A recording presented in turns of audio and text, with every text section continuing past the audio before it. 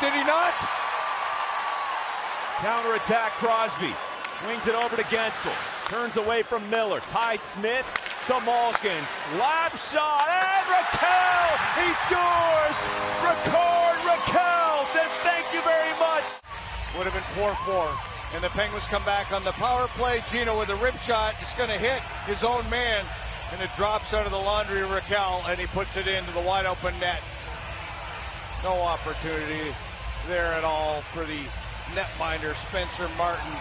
Rakell gets on the board. It has been a while.